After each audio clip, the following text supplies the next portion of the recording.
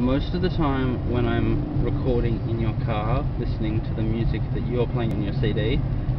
it'll get copyright tagged and they'll just say, we're gonna, if there's any advertising revenue, we need to give it to the people who've made the claim, not to you. So you just can't mark it as Creative Commons, you have to write it, do it as standard copyright and yeah, advertising revenue will go to that person. But then there was one time where I was uploading a video at home and I happened to play a popular 70s song in the background only for about 30 seconds out of a 10 minute video and it got flagged and said you're not allowed to upload this at all. So even though so it's it's marked